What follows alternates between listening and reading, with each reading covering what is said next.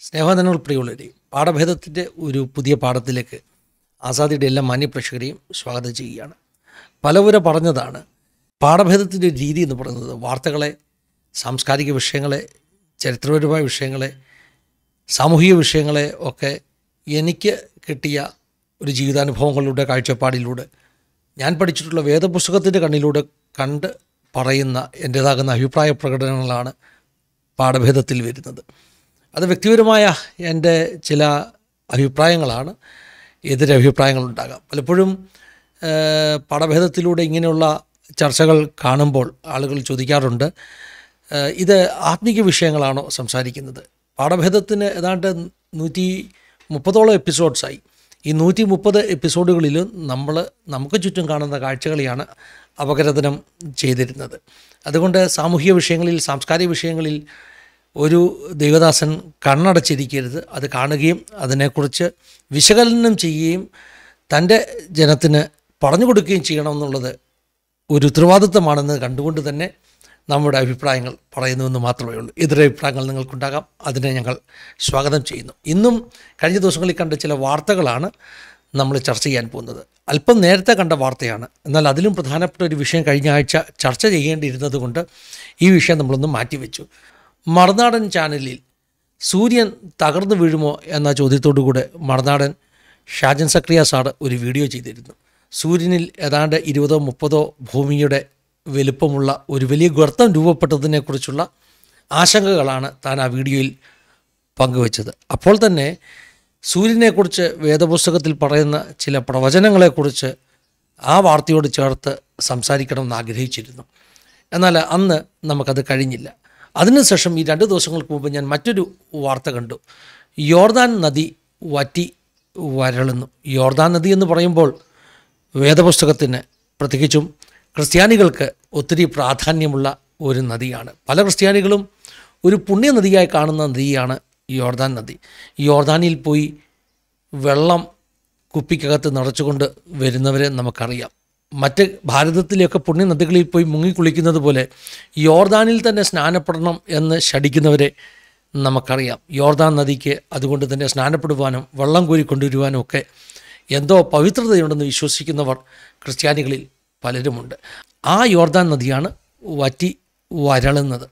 യോർദാൻ നദിയെക്കുറിച്ച് യോർദാൻ നദിയുടെ ഭാവിയെക്കുറിച്ചും വേദപുസ്തകത്തിൽ പ്രവചനങ്ങളുണ്ട്. അപ്പോൾ ഞാൻ ഓർത്തു അങ്ങനെയാണെങ്കിൽ സൂര്യന്റെയും യോർദാൻ നദിയുടെയും കഥകൾ ഒന്നിച്ച് ഈ പാഠഭേദത്തിൽ പറയാം. അങ്ങനെ ഇരിക്കുമ്പോഴാണ് ഇന്ന് രാവിലെ വചനം സംസാരിക്കുമ്പോൾ ലോകരാജ്യങ്ങളെക്കുറിച്ച് ദൈവത്തിന്റെ വചനത്തിലുള്ള ചില പ്രവചനങ്ങൾ ശ്രദ്ധയിൽപ്പെട്ടത്. അപ്പോൾ എനിക്കൊരു കൗതുകം തോന്നി. ഭാരതത്തെക്കുറിച്ചും അങ്ങനെ എന്തെങ്കിലും പ്രവചനം വേദപുസ്തകത്തിലുണ്ടോ? ഭാരതത്തിന്റെ ഇന്നത്തെ പുരോഗതി വളർച്ച ഉന്നതിയെക്കുറിച്ച് വേദപുസ്തകം എന്തെങ്കിലും പറഞ്ഞിട്ടുണ്ടോ? ചുരുക്കി പറഞ്ഞാൽ സൂര്യനെക്കുറിച്ചും യോർദാനെക്കുറിച്ചും ഭാരതം പോലെയുള്ള രാജ്യങ്ങളെക്കുറിച്ചുമൊക്കെ വേദപുസ്തകത്തിൽ പ്രവചനങ്ങൾ ഉണ്ട് എന്ന് പറയുമ്പോൾ അത് നമ്മുടെ പാഠഭേദത്തിന്റെ പ്രേക്ഷകരുമായിട്ട് ഒന്ന് പങ്കുവെക്കാമെന്നുള്ള ആഗ്രഹത്തോടു കൂടിയാണ് ഈ പാഠഭേദം നമ്മൾ ചെയ്യുന്നത്. എതിരഭിപ്രായങ്ങൾ നിങ്ങൾക്കുണ്ടാകാം. പക്ഷേ ഞാൻ പറഞ്ഞല്ലോ ഞാൻ എന്റെ അനുഭവത്തിൽ നിന്നും ഞാൻ പഠിച്ച വേദപുസ്തക പാഠങ്ങളുടെ കണ്ണിൽ നിന്നുമാണ് എനിക്കുള്ള എനിക്ക് പറയാനുള്ള പാഠഭേദത്തിന്റെ വാക്കുകൾ പറയുന്നത്. നിങ്ങളുടെ അഭിപ്രായങ്ങൾ സ്വാഗതം ചെയ്യുന്നു. നമുക്കെവിടെ തുടങ്ങാം? സൂര്യനിൽ രൂപപ്പെട്ട ഗർത്തത്തിൽ നമുക്ക് തുടങ്ങാം. ഷാജൻ സക്രിയ സാർ ചോദിക്കുന്നു സൂര്യൻ തകർന്നു വീഴുമോ? എന്തായാലും കഴിഞ്ഞ മാർച്ച് മാസത്തിൽ ഇരുപത്തി മൂന്നാം തീയതിയാണെന്ന് എനിക്ക് തോന്നുന്നു.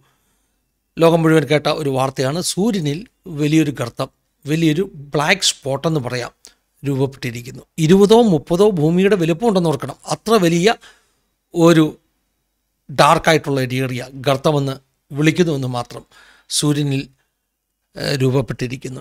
അപ്പോൾ ഇരുപതോ മുപ്പതോ ഭൂമിയുടെ വലുപ്പം എന്ന് പറയുമ്പോൾ അത് ഒത്തിരി വലുതാണെന്ന് നമുക്ക് പെട്ടെന്നൊരു തോന്നലുണ്ടാകാമെങ്കിലും സൂര്യന്റെ യഥാർത്ഥ വലുപ്പവുമായിട്ട് താരതമ്യം ചെയ്യുമ്പോൾ അതൊരു ചെറിയ സ്പോട്ടാണ്. ഒരു കടലിൽ ഒരു കല്ലെറിഞ്ഞതുപോലെ മാത്രം. കാരണം ഭൂമി പോലെയുള്ള ദശലക്ഷക്കണക്കിന് ഗോളങ്ങളുടെ ഒന്നിച്ചു ചേർത്താലുള്ള വലുപ്പമുണ്ട് സൂര്യന്. അതുകൊണ്ട് സൂര്യനിൽ ഇരുപതോ മുപ്പതോ ഭൂമിയുടെ വലിപ്പത്തിലുള്ള ഒരു സ്പോട്ട് എന്ന് പറഞ്ഞാൽ അതൊരു ചെറിയ സൂര്യന്റെ മുകളിലുള്ള ഒരു കുത്തു മാത്രമാണ്. എന്താണ് ശരിക്കും ഈ വാർത്തയുടെ പിന്നിലുള്ളത്? സൂര്യനിൽ അങ്ങനെ ഇടയ്ക്കൊക്കെ ഡാർക്ക് സ്പോട്ട്സ് കാണുന്നത് പതിവാണ്. പല പ്രാവശ്യം അങ്ങനെയുള്ള ഡാർക്കായിട്ടുള്ള സൂര്യന്റെ മുകളിലുള്ള സ്പോട്ട്സ് ശാസ്ത്രജ്ഞന്മാർ അവരുടെ ടെലസ്കോപ്പുകൾ വഴി കണ്ടെത്തിയിട്ടുണ്ട്. എന്തുകൊണ്ട് അങ്ങനെ സംഭവിക്കുന്നത് വെച്ചാൽ അവിടെ ഒരു ഗർത്തം ഉണ്ടായി എന്നുള്ളതല്ല നമ്മൾ മനസ്സിലാക്കേണ്ടത്. ഗർത്തമെന്നൊക്കെ അതിനെ വിളിക്കുന്നെങ്കിലും ഗർത്തം ഉണ്ടായി എന്നുള്ളതല്ല അവിടെ നമ്മൾ മനസ്സിലാക്കേണ്ടത്. സൂര്യൻ എന്താണ്? അതിനകത്തുള്ള പ്രവർത്തനം എന്താണെന്നൊക്കെ അല്പം മനസ്സിലാക്കിയാൽ ഇത് കുറച്ചുകൂടെ വ്യക്തത ലഭിക്കും. സൂര്യൻ സത്യത്തിൽ ഒരു വലിയ വാതകത്തിന്റെ ഒരു കൂട്ടമാണ് സൂര്യൻ. അവിടെ സംഭവിക്കുന്നത് ഹൈഡ്രജൻ ഹീലിയമായിട്ട് മാറുന്ന ഒരു പ്രോസസ്സാണ് അവിടെ സംഭവിക്കുന്നത്. ഹൈഡ്രജൻ ഇന്ധനമായി ഉപയോഗിച്ചുകൊണ്ട് വേണമെങ്കിൽ ഇങ്ങനെ പറയാം ഹൈഡ്രജൻ കത്തി ഹീലിയമായി മാറുന്നു. അങ്ങനെ ആ പ്രോസസ്സിലൂടെ പുറത്തുവിടുന്ന വെളിച്ചവും താപവുമാണ് നാം ഭൂമിയിലൊക്കെ സ്വീകരിക്കുന്നത്. ഹീലിയമായിട്ട് ഹൈഡ്രജൻ മാറുന്ന ഒരു പ്രക്രിയയാണ് സൂര്യനിൽ നടക്കുന്നത്. ഹീലിയം ഉണ്ടാകുന്നു ഹൈഡ്രജൻ അവിടെ കത്തിത്തീരുന്നു. ഇതുകൊണ്ട് തന്നെ നമ്മൾ മനസ്സിലാക്കണം സൂര്യനിലുള്ള ഹൈഡ്രജൻ കത്തിത്തീർന്നു കഴിഞ്ഞാൽ സൂര്യൻ പടിപടിയായി ഒരു ഇരുണ്ട ഗോളമായിട്ട് മാറും. പല നക്ഷത്രങ്ങളും അങ്ങനെ കൊടാനുകോടി വർഷങ്ങൾ കൊണ്ട് കത്തിത്തീർന്ന് ഇല്ലാതായി തീർന്നിട്ടുണ്ട്. നമ്മുടെ സൂര്യനും ഒരു ആയുസുണ്ടെന്ന് നമ്മൾ മനസ്സിലാക്കണം. ഇപ്പോൾ ഈ കണ്ട ഗർത്തം അല്ലെങ്കിൽ ഇരുണ്ട ഭാഗമെന്ന് പറഞ്ഞാൽ ആ ഭാഗത്ത് സൂര്യന്റെ താപനിലയിൽ വ്യത്യാസമുണ്ടായി. അതുകൊണ്ട് മറ്റ് സറൗണ്ടിങ് ഭാഗത്തേക്കാൾ ആ ഭാഗം ഇരുണ്ടതായി കണ്ടു എന്നാണ് നാം മനസ്സിലാക്കേണ്ടത്. ആ ഭാഗത്ത് ഇന്ധനം അല്പം ഒന്ന് മാറി അവിടുത്തെ വാതകങ്ങൾ ഒന്ന് റിലീസായി എന്ന് നമ്മൾ മനസ്സിലാക്കണം. എന്നാൽ വേദപുസ്തകത്തിൽ സൂര്യൻ ഇരുണ്ടു പോകുമെന്നൊക്കെ പറയുന്ന പ്രവചനങ്ങളുണ്ട്. ഒരു കാലത്ത് സൂര്യൻ ഇരുണ്ടു പോകുന്നു. പണ്ട് അതൊക്കെ ആളുകൾ വായിക്കുമ്പോൾ അതെങ്ങനെ സംഭവിക്കുമെന്ന് പലർക്കും വിശ്വാസം വരികയില്ലായിരുന്നു. എന്നാൽ ഇന്ന് നക്ഷത്രങ്ങളെക്കുറിച്ച് നക്ഷ ഇന്ന് നക്ഷത്രങ്ങളെക്കുറിച്ച് നക്ഷത്രത്തിന്റെ ആയുസിനെക്കുറിച്ചൊക്കെ നല്ല ഒരു അറിവ് സയൻസ് വഴി നമുക്കൊക്കെ ഉള്ളതുകൊണ്ട് നമുക്കും അറിയാം ഒരു കാലത്ത് സൂര്യൻ ഇരുണ്ടു പോകുവാൻ ഇടയായിത്തീരും എന്നാൽ ഇന്ന് സയൻസ് പറയുന്നത് നമ്മുടെ സൂര്യന്റെ ഇന്നത്തെ ഒരു പ്രായം എന്ന് പറഞ്ഞാൽ സൂര്യൻ അതിന്റെ മധ്യ വയസ്സിലാണ്. പകുതി പ്രായമേ ആയിട്ടുള്ളൂ ഇനിയും പകുതി ആയുസ് സൂര്യന് ബാക്കിയാണ്. സൂര്യനിലുള്ള ഹൈഡ്രജൻ കത്തി കത്തി തീർന്ന് സൂര്യൻ പൂർണമായിട്ടും ഒരു ഇരുണ്ട ഗോളമായി മാറുവാൻ ഇനിയും കോടാനുകോടി വർഷങ്ങളെടുക്കും ഏതാണ്ട് നാല് അഞ്ച് ബില്യൺ വർഷങ്ങൾ ഇനിയും സൂര്യന് ആയുസ് ബാക്കിയുണ്ടെന്ന് ശാസ്ത്രം പറയുന്നു. ഉടനെ ഒന്നും സൂര്യൻ എന്തായാലും കത്തിത്തീർന്ന് ഒരു ഇരുണ്ട ഗോളമായി മാറുകയില്ല. എന്നാൽ വേദപുസ്തകത്തിൽ പ്രവചനമുണ്ട് സൂര്യൻ മൂന്നിലൊന്ന് അതിന്റെ വെളിച്ചം നഷ്ടപ്പെടുന്ന ഒരു സമയമുണ്ടെന്നൊക്കെ വേദപുസ്തകത്തിൽ പ്രവചനമുണ്ട്. അതെങ്ങനെ സംഭവിക്കുമെന്ന് നമുക്ക് വേദപുസ്തക പ്രവചനത്തെക്കുറിച്ച് ഇതേ പാഠപഥത്തിൽ പിന്നീട് സംസാരിക്കുമ്പോൾ ഞാൻ വിശദമായിട്ട് പറയാം. രണ്ടാമത് ചർച്ച ചെയ്യുവാൻ ആഗ്രഹിക്കുന്ന കാര്യം യോർദാൻ നദി വറ്റി വരളുന്നു. യോർദാൻ എന്തുകൊണ്ടാണ് വറ്റി വരളുന്നത്? അതിന് രാഷ്ട്രീയപരമായ കാരണങ്ങളുണ്ട് ദേശങ്ങൾ തമ്മിലുള്ള തർക്കങ്ങളുണ്ട്. യോർദാൻ നദിയെ സ്വന്തമായി കാണുന്ന മൂന്ന് രാജ്യങ്ങൾ അതായത് സിറിയയും ജോർദാനും ഇസ്രയേലും. പിന്നെ കൂട്ടത്തിൽ പാലസ്തീൻ എന്ന് നമുക്ക് വേണമെങ്കിൽ പറയാം നാലാമതൊരു രാജ്യം. പക്ഷേ പാലസ്തീൻ എന്ന് പറയുന്ന ആ ഒരു രാജ്യത്തിന് യോർദാൻ നദിയുടെ മേൽ അവകാശങ്ങളൊന്നും കൊടുത്തിട്ടില്ല. ബാക്കി മൂന്ന് രാജ്യങ്ങൾ കൂടി യോർദാനിലെ ജലവിഭവത്തെ അവർക്കിഷ്ടമുള്ളതുപോലെ ഉപയോഗിക്കുന്നത് കൊണ്ട് ജോർദാൻ നദിയിൽ ഇപ്പോൾ വെള്ളം വളരെ കുറവാണ്. സിറിയ ഒരു ഡാം കെട്ടി അവർക്കുള്ള വെള്ളം അങ്ങോട്ട് സ്വരൂപിക്കുന്നു. അങ്ങനെ ജോർദാനും ഇസ്രയേലുമൊക്കെ ഇസ്രയേൽ ഗലീല തടാകത്തിന്റെ അടുക്കൽ വെള്ളം തടഞ്ഞു നിർത്തുവാനൊക്കെ ശ്രമിക്കുന്നു. അങ്ങനെ പല ആക്ടിവിറ്റീസ് പല രാഷ്ട്രങ്ങളുടെ അവരുടേതാകുന്ന താല്പര്യങ്ങൾ കൊണ്ടുള്ള ആക്ടിവിറ്റീസ് കൊണ്ട് യോർദാന്റെ പല ഭാഗങ്ങളും വറ്റി വരണ്ടിരിക്കുന്നു. യോർദാൻ മാത്രമല്ല ഈ യോർദാൻ നദി ചെന്ന് അവസാനിക്കുന്ന ഡെഡ് സി ചാവുകടലും ഇപ്പോൾ ചെറുതായിക്കൊണ്ടിരിക്കുകയാണ്. അതിന്റെ വിസ്തൃതി കുറഞ്ഞുകൊണ്ടിരിക്കുകയാണ്. കാരണം അവിടെ നിന്ന് വെള്ളം നഷ്ടപ്പെട്ടുകൊണ്ടിരിക്കുന്നു. യോർദാൻ നദിയിലൂടെ എത്തുന്ന വെള്ളം അവിടെ എത്തുന്നില്ല. അതിനപ്പുറമായിട്ട് ഇവാപ്രേഷൻ ഒത്തിരി വെള്ളം സൂര്യന്റെ ചൂട് കൊണ്ട് നീരാവിയായി നഷ്ടപ്പെട്ടുകൊണ്ടിരിക്കുന്നു. അങ്ങനെ ഏതാണ്ട് ആയിരത്തി തൊള്ളായിരത്തി അറുപതുകൾക്ക് ശേഷം ചാവുകടലും ചുരുങ്ങിക്കൊണ്ടിരിക്കുന്നു. ഇങ്ങനെ പ്രകൃതിയിൽ തന്നെ വലിയ വ്യത്യാസങ്ങൾ ചാവുകടൽ യോർദാൻ ഇവിടെയൊക്കെ ഉണ്ടായിക്കൊണ്ടിരിക്കുകയാണ്. എന്നാൽ ഞാൻ മുമ്പ് പറഞ്ഞതുപോലെ സൂര്യനെക്കുറിച്ച് പ്രവചനമുള്ളതുപോലെ തന്നെ യോർദാൻ നദിയെക്കുറിച്ചും ചാവുകടലിനെക്കുറിച്ചുമൊക്കെ അതിന്റെ ഭാവിയെക്കുറിച്ച് വേദപുസ്തകത്തിൽ പ്രവചനമുണ്ട്. മൂന്നാമത് ഈ പാഠപദ്ധതിയിലൂടെ പറയുന്നത് ഇന്ത്യ പോലെയുള്ള രാജ്യങ്ങളുടെ ഭാവിയെക്കുറിച്ച് വേദപുസ്തകം എന്തു പറയുന്നു എന്നുള്ളതാണ്. ഇന്ന് രാവിലെ അതായത് വെള്ളിയാഴ്ച രാവിലത്തെ ഉപവാസ പ്രാർത്ഥനയിൽ ലോകം മുഴുവൻ ഇന്നൊരു ഗുഡ് ഫ്രൈഡേയുടെ ദിനമായിട്ടൊക്കെ കാണുന്ന ഒരു ദിവസമാണല്ലോ. ഇന്ന് രാവിലെ ഞങ്ങളുടെ ചർച്ചിന്റെ ഉപവാസ പ്രാർത്ഥനയിൽ ഗുഡ് ഫ്രൈഡേയുടെ ഭാഗമായിട്ടുള്ള ഉപവാസ പ്രാർത്ഥനയല്ല. കാരണം പെന്തക്കോസ്തുകാർക്ക് അങ്ങനെയുള്ള പതിവുകളൊന്നുമില്ലല്ലോ റെഗുലർ ഉപവാസ പ്രാർത്ഥനയിൽ ഞങ്ങൾ വായിച്ച് പഠിച്ച വേദഭാഗം ലോകസുവിശേഷം ഇരുപത്തിയൊന്നാം അധ്യായത്തിന്റെ ഇരുപത്തി ഒൻപതാമത്തെ വാക്യമാണ്. അവിടെ യേശു കർത്താവ് അതിമുതലായ സകല വൃക്ഷങ്ങളെയും കുറിച്ച് ഒരു ഉപമ പ്രവാനടിയായി തീർന്നു. അല്ലെങ്കിൽ ഒരു പ്രവചനം പ്രവാനടിയായി തീർന്നു. അതിമുതലായ സകല വൃക്ഷങ്ങളും തളിർക്കുമ്പോൾ വേനൽ അടുത്തു എന്ന് നിങ്ങൾ മനസ്സിലാക്കിക്കൊള്ളുവിൻ എന്നാണ് യേശു പറഞ്ഞത്. അപ്പോൾ അതിമുതലായ സകല വൃക്ഷങ്ങളും എന്നവിടെ പറയുമ്പോൾ ആ ഉപമയിൽ ആ ദൃഷ്ടാന്തത്തിൽ പ്രവചനത്തിൽ യേശു കർത്താവ് എന്താണ് അർത്ഥമാക്കിയത്. വേദപുസ്തകത്തെക്കുറിച്ച് കുറച്ചൊക്കെ അറിവുള്ളവർക്കൊക്കെ അറിയാം.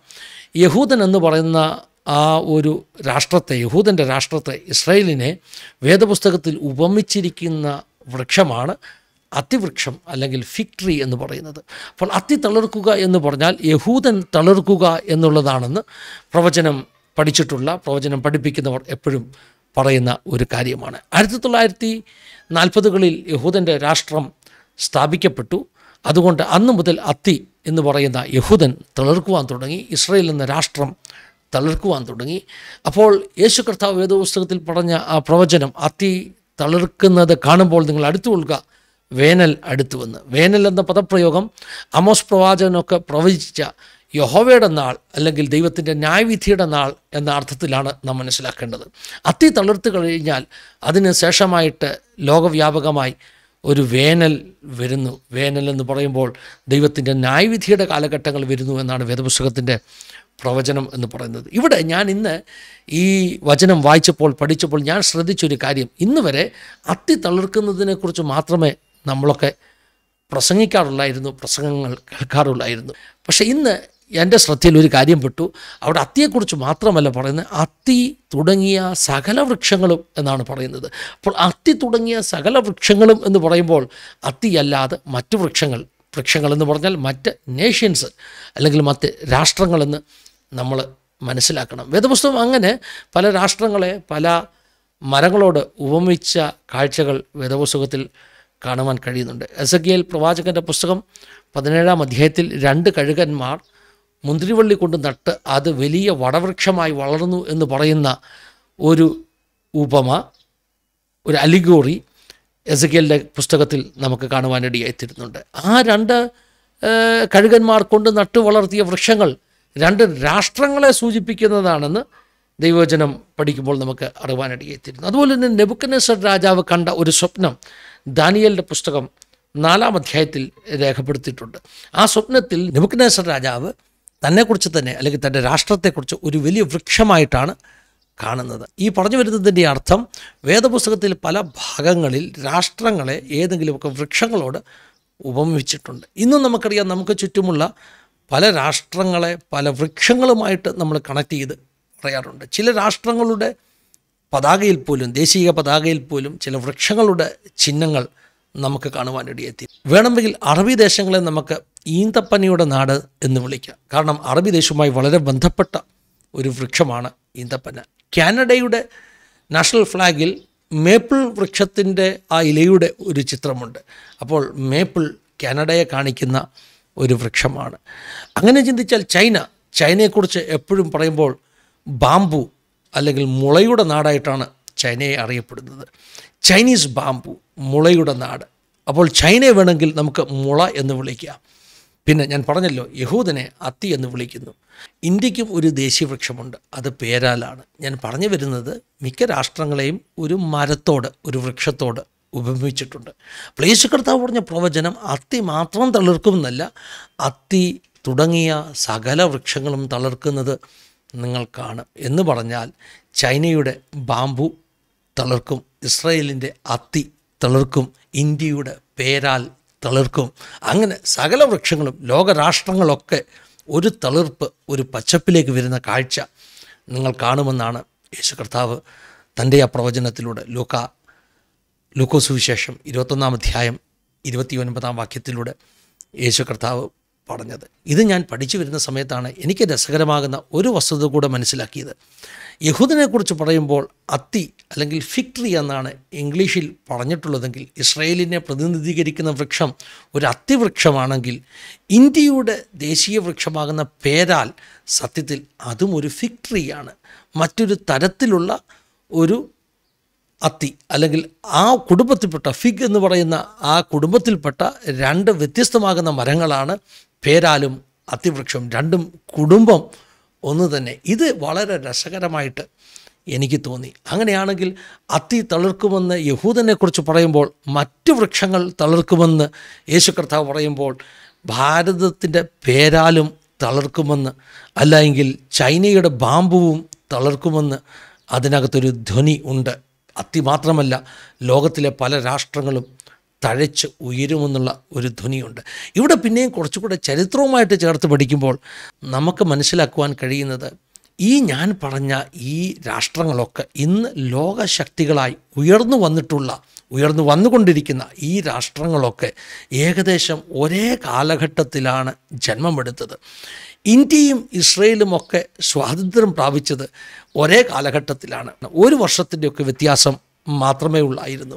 ആയിരത്തി തൊള്ളായിരത്തി നാൽപ്പതുകളിലാണ് ഇന്ത്യയും ഇസ്രയേലും അതുപോലെ തന്നെ China Chinese communist party China പിടിച്ചെടുത്ത് അധികാരം സ്ഥാപിക്കുന്നതും ആയിരത്തി തൊള്ളായിരത്തി നാൽപ്പത്തി അഞ്ചുകളിലാണ് അങ്ങനെ വന്നു കഴിയുമ്പോൾ ചുരുക്കി പറഞ്ഞാൽ ആയിരത്തി തൊള്ളായിരത്തി നാൽപ്പതുകളിലാണ് ഈ പറഞ്ഞ ലോകശക്തികളായി ഇന്ന് നാം കാണുന്ന പല രാഷ്ട്രങ്ങളും ഉടലെടുത്തത് തന്നെ. ബൈബിൾ പ്രവചനം എത്ര രസകരമായി അത്ഭുതകരമായി നിവർത്തിക്കപ്പെടുന്നു. അത്തി മാത്രമല്ല തളിർത്തത്. അല്ലെങ്കിൽ ഇസ്രയേൽ മാത്രമല്ല തളിർത്തത്.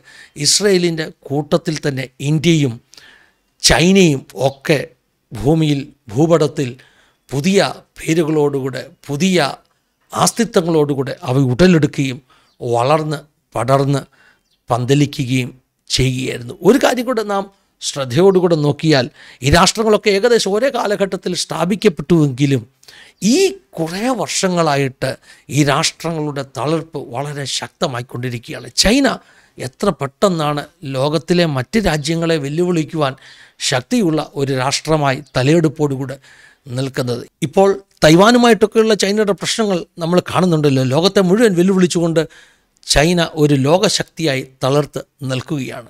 നമ്മുടെ ഭാരതവും ഒട്ടും മോശമല്ല. കഴിഞ്ഞ ഏതാണ്ട് ചില പതിറ്റാണ്ടുകൾക്കുള്ളിൽ ഭാരതം ലോകത്തിലെ തന്നെ പ്രബലമാകുന്ന ശക്തികളിൽ ഒന്നായി മാറി.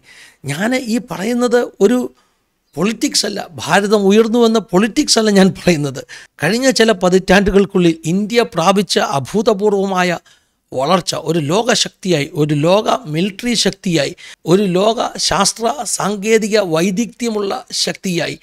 ഇന്ത്യ വളർന്ന് വന്നത് സാമ്പത്തിക ശക്തിയായി ഇന്ത്യ വളർന്നു വന്നത്. മാത്രമല്ല ലോകത്തിലെ ഏറ്റവും പ്രബലമാകുന്ന ഒരു അഞ്ച് രാജ്യങ്ങളിൽ ഒന്നായിട്ട് ഇന്ത്യ മാറിയത് ഒക്കെ അത്ഭുത കാഴ്ചയാണ്.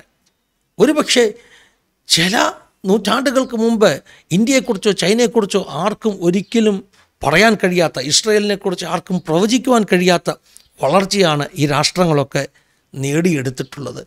ഇതിനൊക്കെ കാരണം നാം മനസ്സിലാക്കണം യേശു പറഞ്ഞ പ്രവചനം അത്തി മുതലായ സകല വൃക്ഷങ്ങളും തഴയ്ക്കും ഇന്ത്യയും ചൈനയും മാത്രമല്ല മറ്റു പല രാഷ്ട്രങ്ങളും. നമുക്കറിയാമല്ലോ അറേബ്യൻ ദേശങ്ങളുടെ ഒരു സാമ്പത്തിക വളർച്ച ഉണ്ടായത് കഴിഞ്ഞ ഒരു നൂറ്റാണ്ടിന്റെ അകത്താണ്. അങ്ങനെ ഒത്തിരി വൃക്ഷങ്ങൾ തളർത്തു. അറേബ്യൻ ഖജൂർ അല്ലെങ്കിൽ അറേബ്യൻ ഈന്തപ്പനകൾ തഴയ്ക്കുന്നു. ചൈനയുടെ മുള തഴയ്ക്കുന്നു. ഇന്ത്യയുടെ പേരാൽ തഴയ്ക്കുന്നു ഇസ്രയേലിന്റെ അത്തി തഴയ്ക്കുന്നു അത്തിയും ഒത്തിരി വൃക്ഷങ്ങളും തഴയ്ക്കുമെന്ന് വേദപുസ്തകം പറഞ്ഞ പ്രവചനം ഇത് അക്ഷരാർത്ഥത്തിൽ തന്നെ നിറവേറിക്കൊണ്ടിരിക്കുന്നു.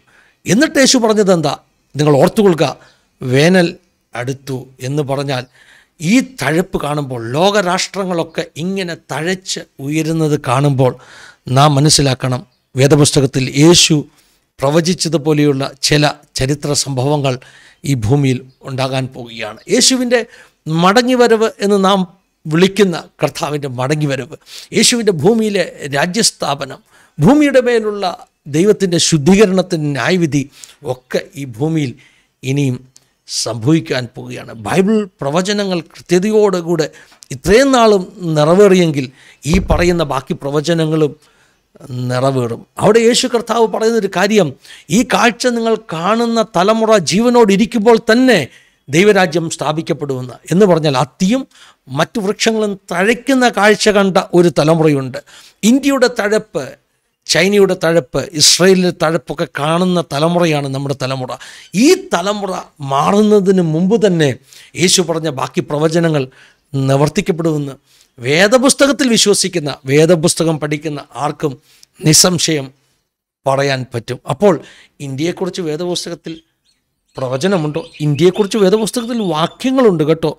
ഹിന്ദുദേശം എന്ന പേരിൽ ഇന്ത്യയെക്കുറിച്ച് വേദപുസ്തകത്തിൽ വാക്യങ്ങളുണ്ട്. അന്ന് ഇന്ത്യയെ അങ്ങനെയാണല്ലോ അറിയപ്പെട്ടിരുന്നത്. ഹിന്ദുദേശം എന്ന് പറയുമ്പോൾ ഹിന്ദു എന്ന മതമല്ല അവിടെ സൂചിപ്പിക്കുന്നത്. സിന്ധു നദിയുടെ അപ്പുറം പാർക്കുന്ന ജനത എന്ന നിലയിൽ അറബികൾ നമ്മെ വിളിച്ചിരുന്ന പേരാണ് ഹിന്ദ് അല്ലെങ്കിൽ ഹിന്ദു എന്ന പേര്. സിന്ധ് എന്ന പദം അറബികൾക്ക് സാ എന്ന ഉച്ചാരണം ശരിയായിട്ട് അവരുടെ ഭാഷയിൽ ഇല്ലാത്തതുകൊണ്ട് അവർ സാ എന്ന ഉച്ചാരണത്തെ ഹ എന്ന് ഉപയോഗിച്ച് സിന്ധ് എന്നുള്ളതിനെ ഹിന്ദെന്ന് വിളിച്ചു എന്നുള്ളതാണ് സത്യം. അങ്ങനെയാണ് സിന്ധു നദിയുടെ തടത്തിലുള്ളവരെ ഹിന്ദുക്കൾ എന്ന പേര് വിളിച്ചത്. അപ്പോൾ വേദപുസ്തകത്തിൽ ഹിന്ദുദേശം എന്ന് എഴുതിയിരിക്കുന്നത് ഇവിടുത്തെ മതത്തെക്കുറിച്ചുള്ള സൂചനയല്ല മറിച്ച് ആ നദിക്ക് ഇങ്ങേപ്പുറമുള്ള ദേശങ്ങൾ എന്ന അർത്ഥത്തിലാണ് ആ ഒരു പ്രയോഗം വേദപുസ്തകത്തിൽ വന്നിട്ടുള്ളത്. അപ്പോൾ വേദപുസ്തകത്തിൽ നേരിട്ടല്ലെങ്കിലും അത്തി മുതലായ സകല വൃക്ഷവും തഴയ്ക്കുമെന്ന പ്രവചനമുള്ളതുകൊണ്ട് ആ സകല വൃക്ഷങ്ങളുടെ കൂട്ടത്തിൽ തന്നെ നമ്മുടെ വൃക്ഷവുമുണ്ട് ഇന്ത്യക്കാരുടെ വൃക്ഷമുണ്ട് അത് മറ്റൊരു ഫിക്ട്രി ആയത് അത്ഭുതം. അത് മറ്റൊരു ഫിക്ട്രി ആയത് അല്ലെങ്കിൽ യഹൂദന്റെ അത്തിയെപ്പോലെ അതേ കുടുംബത്തിൽപ്പെട്ട ഒരു പേരാലായത് എന്നെ അത്ഭുതപ്പെടുത്തുന്നു. അതവിടെ നിൽക്കട്ടെ ഇന്ത്യയെക്കുറിച്ചുള്ള വേദപുസ്തക പ്രവചനങ്ങൾ. ഒരുപക്ഷെ ഞാൻ ഈ പറഞ്ഞത് നിങ്ങൾക്ക് അക്സെപ്റ്റബിൾ ആയിരിക്കത്തില്ല. കുഴപ്പമില്ല. എന്റെ ഒരു തിയറി എന്റെ ഒരു കണ്ടെത്തൽ ഞാൻ പങ്കുവച്ചു എന്ന് മാത്രമേ ഉള്ളൂ. ഇനി നമുക്ക് സൂര്യനെക്കുറിച്ചും യോർദാനെക്കുറിച്ചും ഒക്കെ വേദപുസ്തകം എന്താണ് പറയുന്നതെന്ന് കേൾക്കാം. സൂര്യനെക്കുറിച്ച് വളരെ പ്രധാനപ്പെട്ട രണ്ട് പ്രവചനങ്ങൾ. വെളിപ്പാട് പുസ്തകം എട്ടാം അധ്യായത്തിലും പതിനാറാം അധ്യായത്തിലുമാണ് പറയുന്നത്. വെളിപ്പാട് പുസ്തകം എട്ടാം അധ്യായത്തിൽ ഏഴ് ദൂതന്മാർ കാഹളം ഊതുന്നതിനെക്കുറിച്ച് പറയുമ്പോൾ അവിടെ രേഖപ്പെടുത്തിയിരിക്കുന്നു നാലാമത്തെ ദൂതൻ കാഹളം ഊതിയപ്പോൾ സൂര്യന്റെ മൂന്നിലൊന്ന് പ്രകാശം ഇല്ലാതെ പോയി. അപ്പോൾ മൂന്നിലൊന്ന് പ്രകാശം എങ്ങനെയാണ് സൂര്യൻ ഇല്ലാതെ പോകുന്നത്? ഞാൻ ആരംഭത്തിൽ തന്നെ പറഞ്ഞു സൂര്യന്റെ ആയുസ് ഇനിയും നാലര ബില്യൺ വർഷം ബാക്കിയുണ്ടെന്നാണ് ശാസ്ത്രം പറയുന്നത്. പക്ഷേ വേദപുസ്തകത്തിൽ ഈ പറയുന്ന പ്രവചനങ്ങൾ നാലര ബില്യൺ വർഷങ്ങൾക്ക് ശേഷം നടക്കുന്ന പ്രവചനങ്ങൾ ഒന്നുമല്ല. വേദപുസ്തകത്തിൽ ഈ പറയുന്ന പ്രവചനങ്ങൾ ഞാൻ മുമ്പേ പറഞ്ഞ അത്തി മുതലായ സകല വൃക്ഷങ്ങളും തളർക്കുമെന്ന് പറയുന്ന പ്രവചനവുമായിട്ട് ബന്ധപ്പെടുത്തി നോക്കുമ്പോൾ നമ്മുടെ തലമുറയ്ക്ക് അടുത്ത് തന്നെ സംഭവിക്കേണ്ട കാര്യങ്ങളാണ് വെളിപ്പാട് പുസ്തകത്തിൽ പറയുന്നത്. അങ്ങനെയാണെങ്കിൽ പിന്നെ എങ്ങനെയാണ് സൂര്യൻ ഇരുണ്ടു പോകുന്നത് സൂര്യന്റെ വെളിച്ചം കുറയുന്നത്? ഒരു സാധ്യത ഞാൻ പറയാം. ടെമ്പററി ആയിട്ടാണെങ്കിലും ഇത് സംഭവിക്കുവാൻ സാധ്യതയുണ്ട്. ഇന്ന് സൂര്യനിൽ ഒരു ഗർത്തം വെളിപ്പെട്ടതിനെക്കുറിച്ച് അല്ലെങ്കിൽ സൂര്യന്റെ ഒരു പ്രത്യേക ഭാഗത്ത് ഇരുപതോ മുപ്പതോ ഭൂമി ചേർത്ത് വെക്കാൻ കഴിയുന്ന ഒരു ഭാഗത്ത് താപനിലയിലുണ്ടായ വ്യത്യാസം കൊണ്ട് സൂര്യന്റെ മുഖത്തൊരു ബ്ലാക്ക് സ്പോട്ട് ഒരു ഗർത്തം രൂപപ്പെട്ടുവെന്ന് സയൻസ് പറഞ്ഞെങ്കിൽ ഈ വേദപുസ്തക പ്രവചനം നടക്കുന്ന കാലത്ത് ഒരു സ്വർഗദൂതൻ കാഹളം ഊതുന്നു എന്ന് സിംബോളിക്കായിട്ട് പറയുന്ന ആ ന്യായവിധിയുടെ കാലത്ത് സൂര്യനിൽ അങ്ങനെയുള്ള വലിയ താപവ്യതിയാനം സൂര്യന്റെ ഏതെങ്കിലും ഒരു ഭാഗത്ത് സംഭവിക്കും. ഇന്ന് ഇരുപതോ മുപ്പതോ ഭൂമിയുടെ വലുപ്പമുള്ള ഒരു ഗർത്തമാണ് അവിടെ രൂപപ്പെട്ടെങ്കിൽ ഒരു ബ്ലാക്ക് സ്പോട്ടാണ് അവിടെ രൂപപ്പെട്ടതെങ്കിൽ അതിനെക്കാട്ടിലും നൂറോ ആയിരമോ മടങ്ങ് വലുപ്പമുള്ള ഒരു ബ്ലാക്ക് സ്പോട്ട് രൂപപ്പെട്ടാൽ സൂര്യന്റെ ഒരു ഭാഗത്ത് അല്ലെങ്കിൽ മൂന്നിലൊന്ന് ഭാഗത്ത് മുഴുവൻ നിറഞ്ഞു നിൽക്കുന്ന ഒരു താപവ്യത്യാസം ഉണ്ടായാൽ ഒരു ഇന്ധനം ഇല്ലായ്മ അവിടെ ഹൈഡ്രജൻ ഹീലിയമായി മാറുന്ന പ്രോസസ്സ് നടക്കാതെ പോയാൽ അത്രയും ഭാഗത്ത് പെട്ടെന്ന് ഒരു ഇരുട്ടുണ്ടാകും. സൂര്യനൊരു പ്രശ്നമുണ്ട്. സൂര്യൻ അതിന്റെ അച്ചുതണ്ടിൽ കറങ്ങിക്കൊണ്ടിരിക്കുകയാണ്. ഒരു ഭാഗം ഇരുണ്ടുപോയാൽ മറുഭാഗത്ത് വെളിച്ചമുള്ള ഭാഗം തിരിച്ചു വരുവാൻ കുറഞ്ഞത് പത്തിരുപത് ഇരുപത്തിനാല് ദിവസം എടുക്കും. സൂര്യൻ അതിന്റെ അച്ചുതണ്ടിൽ കറങ്ങുവാൻ എടുക്കുന്ന സമയം ഇരുപത്തിനാല് മുതൽ ഇരുപത്തിയെട്ട് ദിവസം വരെയാണെന്ന് പറയുന്നു. കാരണം സൂര്യന്റെ മധ്യഭാഗവും ധ്രുവങ്ങളും തമ്മിൽ അതിന് കണക്ക് വ്യത്യാസമുണ്ടെന്ന് ശാസ്ത്രം പറയുന്നു. അങ്ങനെയാണെങ്കിൽ ഒരു വലിയ ബ്ലാക്ക് സ്പോട്ട് രൂപപ്പെടുന്നു. ഭൂമിയിലേക്കുള്ള വെളിച്ചം ഇല്ലാതായി പോകുന്നു. അങ്ങനെ വെളിച്ചമില്ലാതായി കഴിഞ്ഞാൽ എന്ത് സംഭവിക്കുന്നു? കുറേ നാളത്തേക്ക് ഭൂമിയിലേക്ക് എത്തുന്ന സൂര്യപ്രകാശം മൂന്നിലൊന്നായി കുറയുന്നു എന്നാണ് ഈ പ്രവചനം പറയുന്നതിന്റെ അർത്ഥം. അപ്പോൾ ഈ പ്രവചനം സത്യത്തിൽ സയൻസുമായിട്ട് നിരക്കുന്ന പ്രവചനമാണ്. സൂര്യനിൽ എപ്പോഴും ഉണ്ടാക്കുന്ന ബ്ലാക്ക് സ്പോട്ട്സ് ഒരേ വലുപ്പമല്ല. ഈ കഴിഞ്ഞ ദിവസം ഉണ്ടായത് മാർച്ച് മാസത്തിൽ ഉണ്ടായത് ഒരു വലിയ ബ്ലാക്ക് സ്പോട്ടായിരുന്നു ഇനിയും അധികം വലിയ ബ്ലാക്ക് സ്പോട്ട്സ് ഉണ്ടാകാം. മറ്റൊരു സാധ്യത ഞാൻ പറയാം. സൂര്യന് സോളാർ സൈക്കിൾസ് എന്ന് പറയും. പതിനൊന്ന് വർഷം കൂടുന്ന സൈക്കിൾ സൂര്യനുണ്ട്. പതിനൊന്ന് വർഷം കഴിയുമ്പോൾ സൂര്യൻ ഒരു പ്രത്യേക രീതിയിൽ ഫ്ലിപ്പ് ചെയ്യും. ഫ്ലിപ്പ് ചെയ്യുക എന്ന് പറഞ്ഞാൽ നമുക്കറിയാമല്ലോ ഫോട്ടോയൊക്കെ ഫ്ലിപ്പ് ചെയ്യും. മനസ്സിലാക്കണം. സൂര്യൻ ഭൂമി പോലെ ഖരപദാർത്ഥങ്ങൾ കൊണ്ട് ചേർന്ന ഒരു ഗോളമല്ല സൂര്യൻ വാതകത്തിന്റെ കൂട്ടമാണ്. ഹൈഡ്രജൻ ആണ് അവിടെ ഏറ്റവും കൂടുതലുള്ള വാതകമാണ് സൂര്യനിൽ നിറഞ്ഞിരിക്കുന്നത്. ഈ വാതകത്തിന്റെ ആ വലിയ ആ മാസ് അത് ഒന്ന് ഫ്ലിപ്പ് ചെയ്യും. വാതകമാണെങ്കിലും അതിന് മാസുണ്ട് അതിന് വെയിറ്റ് ഉണ്ട് അതൊന്ന് ഫ്ലിപ്പ് ചെയ്യും. ആ ഫ്ലിപ്പ് ചെയ്യുന്നത് പതിനൊന്ന് വർഷം കൂടുമ്പോഴാണെന്ന് ശാസ്ത്രം പറയുന്നു.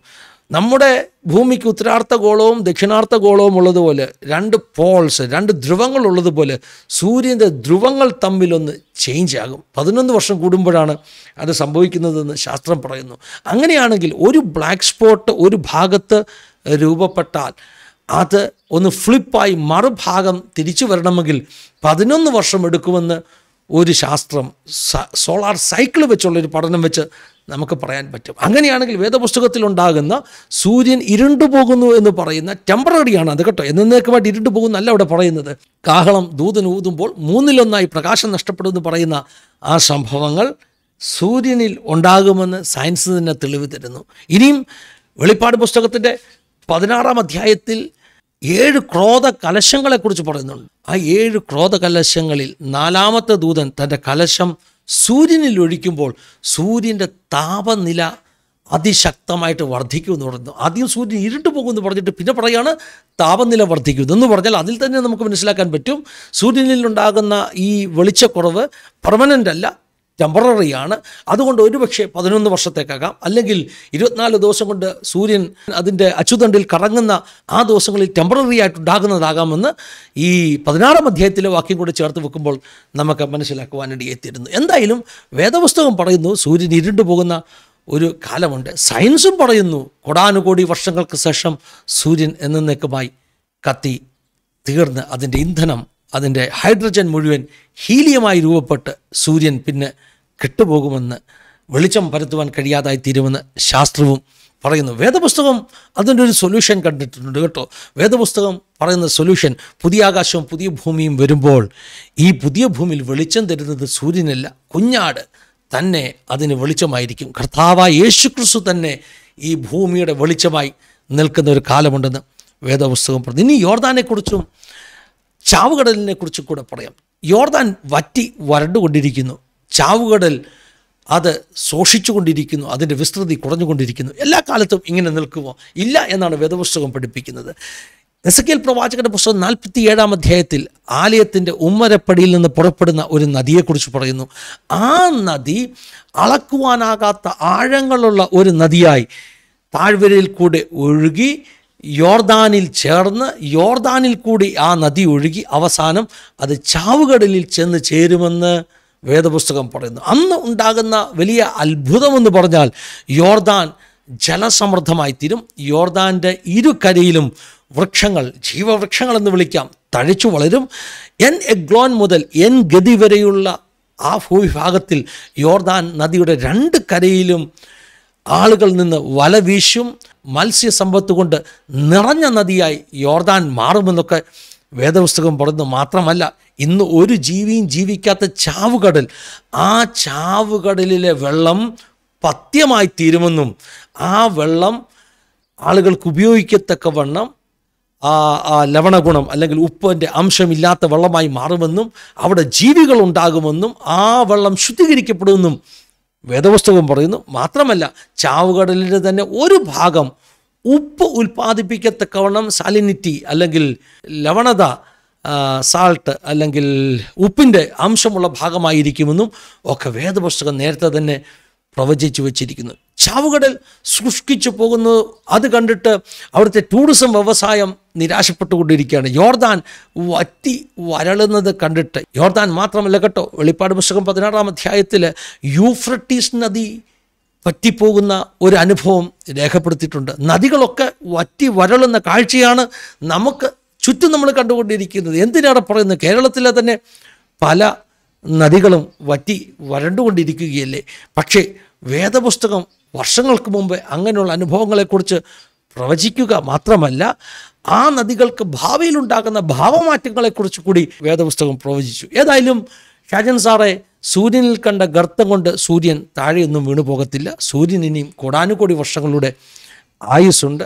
എന്നാൽ സൂര്യനിലും ചന്ദ്രനിലും നദികളിലും മരങ്ങളിലും ഒക്കെ രൂപപ്പെടുന്ന മരങ്ങളെന്ന് പറഞ്ഞാൽ രാഷ്ട്രങ്ങളിലും ഒക്കെ രൂപപ്പെടുന്ന വ്യത്യാസങ്ങളെക്കുറിച്ച് അടയാളങ്ങളെക്കുറിച്ച് വേദപുസ്തകം പ്രവചിച്ചിട്ടുണ്ട്. ഇതെല്ലാം നമ്മെ വിളിച്ചോർപ്പിക്കുന്നത് നാം ഒക്കെ കാത്തിരിക്കുന്ന യേശു കർത്താവിന്റെ മടങ്ങിവരവിനെക്കുറിച്ചാണ്. യേശു ഭൂമിയിൽ സ്ഥാപിക്കുന്ന സുന്ദരമാകുന്ന ദൈവരാജ്യത്തെക്കുറിച്ചാണ്.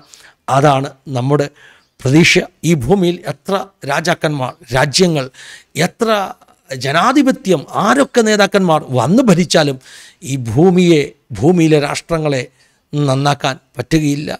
സമത്വ സുന്ദരമാകുന്ന ഒരു രാഷ്ട്രം ആർക്കും കെട്ടിപ്പടുക്കുവാൻ കഴിയില്ല. കാരണം മനുഷ്യൻ ഭരിച്ചാൽ മനുഷ്യൻ അവന്റെ സ്വാർത്ഥതയോടുകൂടെ മാത്രമേ അവന്റെ ഇഷ്ടത്തോടുകൂടെ മാത്രമേ അവനിഷ്ടമുള്ളത് മാത്രമേ ചെയ്യുകയുള്ളൂ.